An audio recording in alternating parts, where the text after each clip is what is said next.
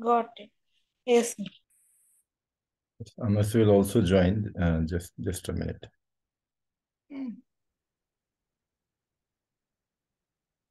Till then, anybody would like to speak? Mano or that uh, Yuvraj?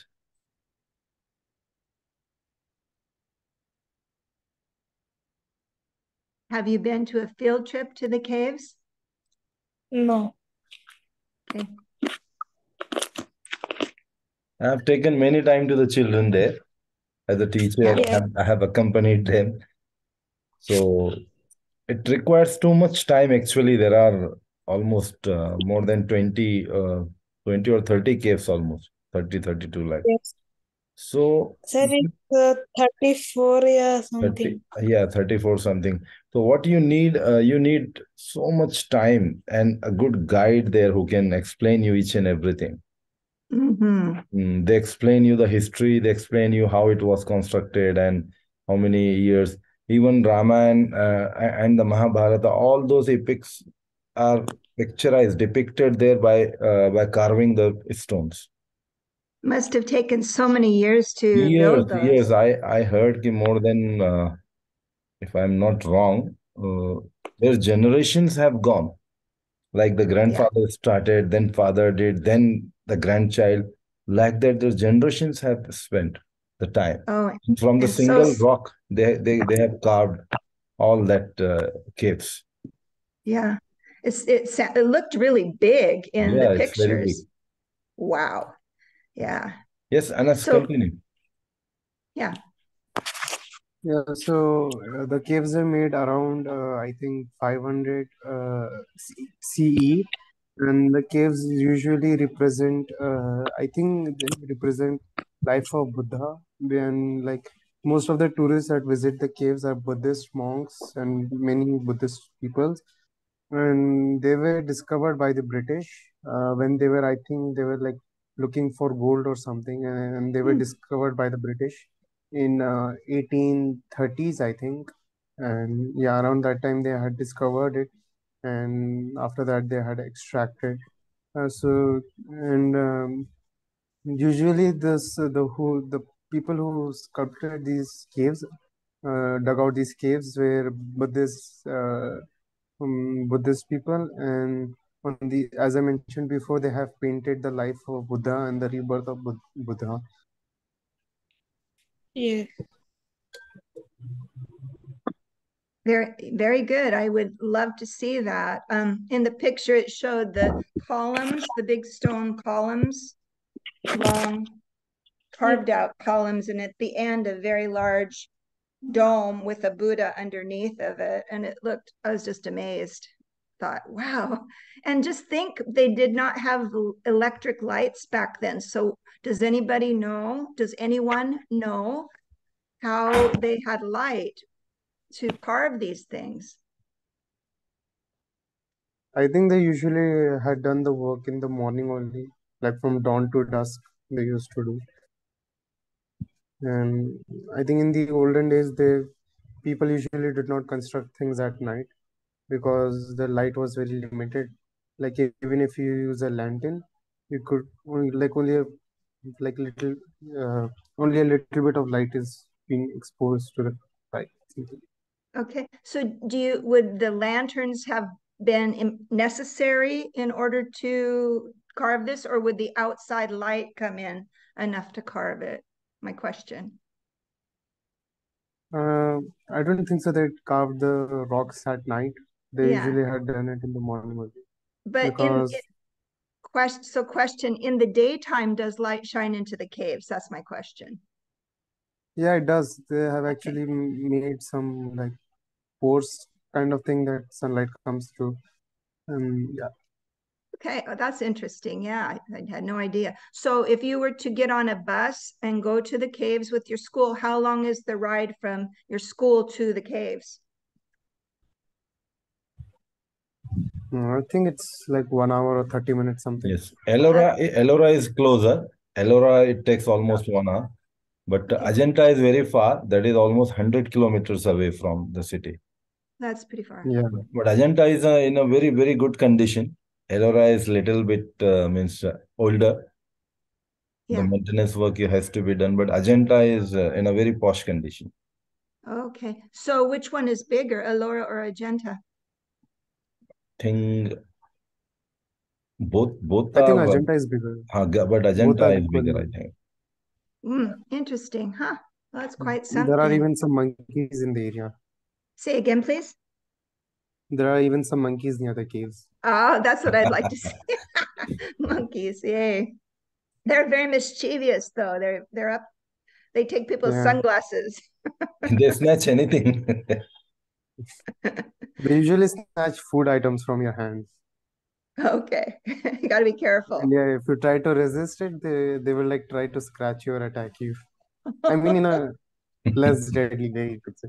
Just let them have it. That's funny. Oh boy. Remembering a monkey like stealing peanuts from my hands. I had like Oh, those peanuts in my hand, and he just came and he took it. yeah. They know what they want, right? Yeah. Yeah, it's so funny. Yeah. Gosh. So, um, so do you any of you have some questions about America that you would like to ask me someplace maybe you've thought about going? And uh, what do you think? I would like to know about the place. Like you said, you are very close to the Pacific Ocean. Right. So how does it make uh, you feel, Miss? Uh, like, uh, do you often visit to that place just to to see the ocean, or it is just normal for you? It's, you know, it's so big that is never normal. It is very vast and it is very beautiful. And we actually can see it from our house. Oh, And we live on a cliff.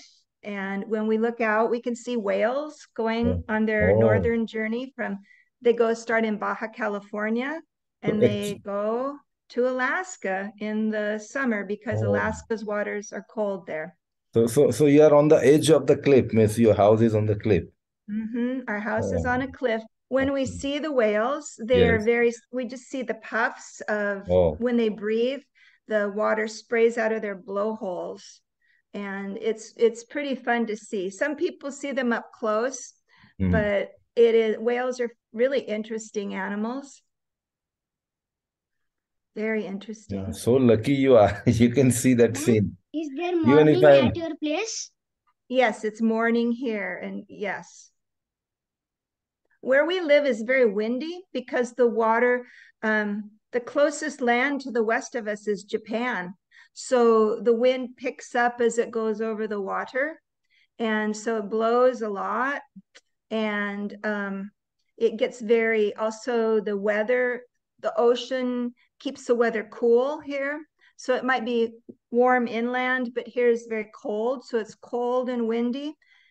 In the summer, it's nice. In the winter, it's very rainy. So um, we get used to it. We just wear warm coats. Um, we like because it's windy. I think uh, we talked about the kites, so we love to fly kites. Mhm. What's Yeah, the was- normal temperature there usually? Um, our normal temperature is probably 19 degrees Celsius. It's good. It's That's good. summer. Ah. And in the winter, it's probably 12 degrees Celsius. Oh, very cold. Very cold. And in the on a hot day, like our hottest day would be like one of your coolest days. So I'm trying to think. Um, maybe our hottest day would be like 30 degrees Celsius. Oh, So yeah, here for us it is above 40. Yeah, Above 40 is an, miss- nowadays it's, it was going on above 40. yeah. Which which country is uh, miss more colder? Is it Canada or US? Canada would be colder. Um, any place along the Pacific coast is, is going to be warm, but as you go into the interior of the country, there's places in Canada that gets get to be negative 40. It's very, very Yeah, I heard. I heard minus 50. I was not able to believe. How come the Yeah, it's people are true. alive? Minus 50. Does it not freeze their blood? Yeah, no, that doesn't, they go, um, they stay inside and then they, when they go out, they'll put a cloth over their face. Oh, So they breathe because it would freeze their lungs. It absolutely would freeze their lungs. Yeah. um, this But they wear fur. I mean, like you think about the Arctic, the Eskimos, the natives that live there, Yes. they just become used to it. They're Um, yeah. Sometimes the you- weather is also a very big problem. Sometimes. What was that now? Sometimes I'm the sorry? weather weather is a big problem. Oh, and the weather has changed a lot. I'm sure as um, as the world has been changing, one of the big problems we have here is fires Okay. because we've been things have been drier Yeah. and warmer.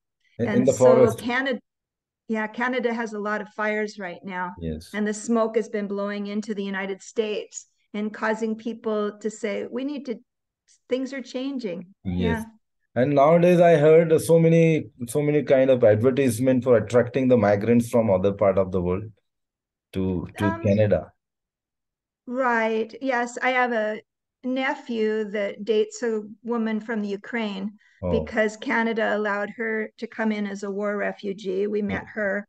okay. She came with her daughter with just their suitcases. That was all. She was from the Ukraine, wanted to be out of the war, and applied to four countries. And Canada was the only country that would take her, you know, Yeah, so even she's there. even even they are asking the migrants from uh, those who are in search of jobs from India, Pakistan, Bangladesh, from different part of the world. They are asking Right. and they are giving them the PR, the permanent residence they are giving. Nice. So do you think is it a good provision if somebody thinks to go there? Can we adjust Oh, in that, kind of environment? Oh, I think it's a really good provision. I think that um, in the people that manage to migrate with through the proper channels are Mhm. very well respected. And I believe that's true. Where the United States has trouble with migrants is that the border between Mexico and the United States is open.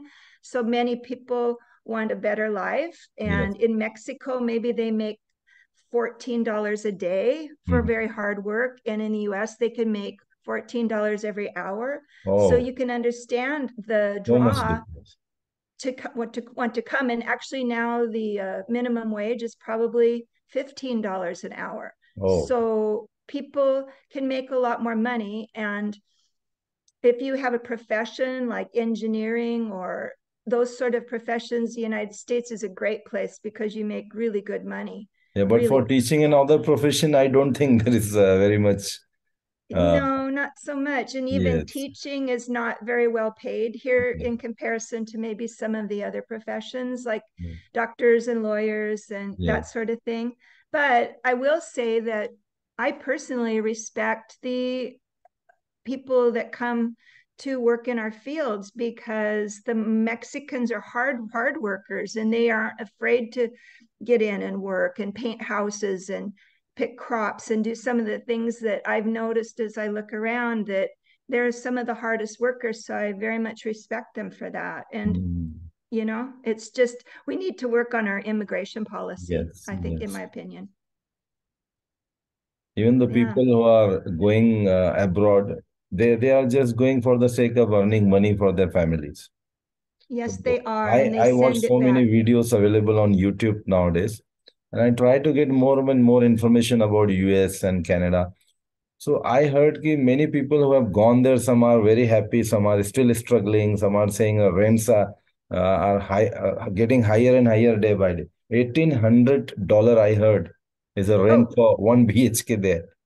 Oh, it's so true. Even where we live and there are no high paying jobs here, really, Oh. unless you're a professional, but there's no industry. So there's no engineers. Oh, Doctors, yes, make a lot of money. Lawyers, yes. But our rent, the cheapest rent is around 1,200 a month. So how do you pay that if you're working in as a waitress or as, you know, a, it's just hard. So more Yeah. than half of your money goes for rent. yes. And people don't people think in their mind they need their own apartment, they need their own house. So our culture doesn't lend itself to people living together quite as much as in other Mm. places. It would make sense to live together, but people, it's harder for us. Yes, yes. they just want to maintain the status like that. When I was abroad, I was in uh, Emirat in Dubai. We used to share the room. We four five friends. It was a very very big uh, apartment. We used to share the room together. We used to pay because when we are going abroad, we must save money. Yeah. What's the use if you are taking a very luxurious apartment and paying a whole amount of whatever we are earning? That is not Yeah. the thing. No, it makes sense. Um, in Hawaii, it's very expensive, and the natives there, you know, they have to share apartments because they couldn't afford to live there at all. It's a very expensive place to live. So yeah.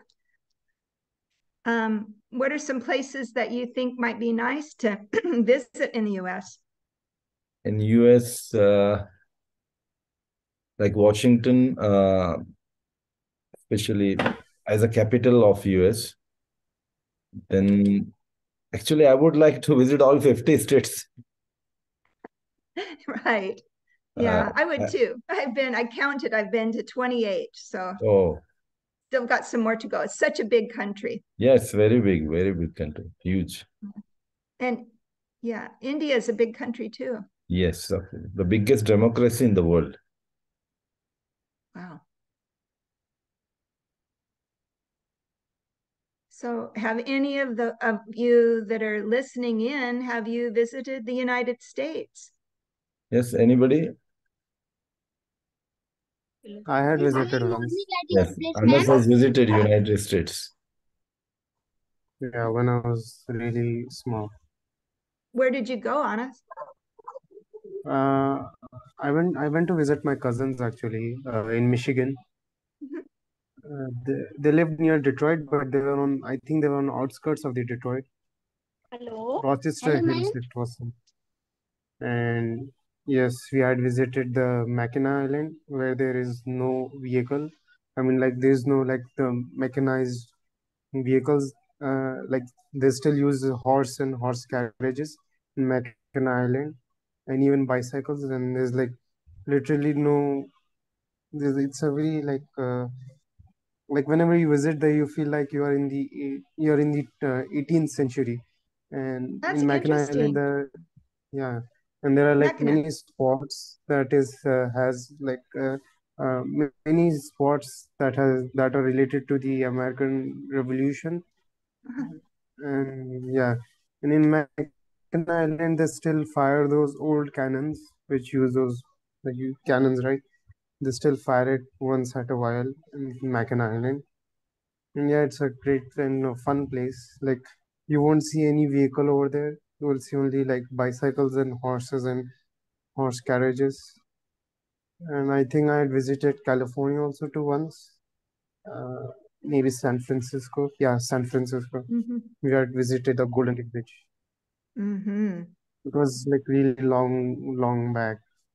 It's been, I think, six or seven years. Mm. Mm. Thank you. Anybody else have a trip that they would like to talk about? Yes, anyone? Hi. Speak loudly, you're not Hello, audible. Yes, ma'am. Hello. Hello, ma'am. Hi. I hear you. Hello. Hello, can you hear me? Yes, ma'am. Good. Is this is there morning at your place, ma'am?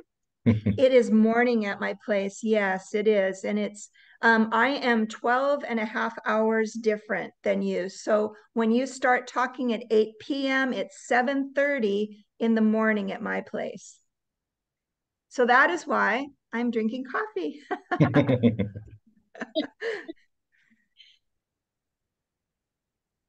So you're getting ready for bed and I'm getting ready for my day. Nice. So, um, well, it's been really good talking with you today. I've enjoyed our conversation. Welcome to the new people. Please come again. I wanted to let you know that I'm looking for maybe some kids to join here in the United States. It would be fun for you to maybe meet some. I have a question for you. If I was able to get someone to come on Thursday morning rather than Wednesday morning, would you be able to meet Thursday afternoon? I mean, Thursday evening Yes, instead of Wednesday? instead of Wednesday, you want to come on Thursday. Possibly. I'll No let you know next next Yeah, we will, we will, we will Okay. adjust. Yes. Yeah, because my I might get I'll try to get my grandson to come. Okay, He's okay. 13 years he's 13 years old and he loves to Definitely, yeah. talk. Yes, definitely. I would like uh, some more people, even from your families, if they are interested. They, they are also most welcome. We'll invite them as a guest sometime Yeah. because here we need somebody who speak English. Unfortunately, we got as a native speaker, so definitely we would like to have everybody whosoever is interested. All right. So sounds wonderful. I will, I'm still recruiting. I would I would consider myself more lucky if I get every day some new speaker. That that would be Uh-huh. beyond my That would be good. Imagination. All right. Super. Okay. Well, nice seeing you and I will talk to you Yes. later. Thank you. Have a nice day. Thank you. You, good night. Good night. Okay. So I'm going to end the meeting now. The newcomers. Okay. From tomorrow onwards, uh, we will continue speaking practice. Yes, how did you feel Okay, today? sir. Yes, uh, Yuvraj, your name is Yuvraj, right? Very nice, sir. Very nice. Viraj, So- Viraj, sir. VV. Viraj, okay, sorry, Viraj. So you can talk to your friends also, your relatives, if they are interested, that every day we do this practice. But uh, we gave only uh, two days for uh, ma'am because she is very busy, but still she is giving us some time. From tomorrow, I will continue taking your practice. Okay? At what time? Sir, at what time? uh, same time, 8, 8 to 9. Okay, sir. Okay? So thank you so much. Yes. Okay, Manav. I'm ending the meeting. Dilip, sir? Okay. Bye-bye. Bye bye, sir.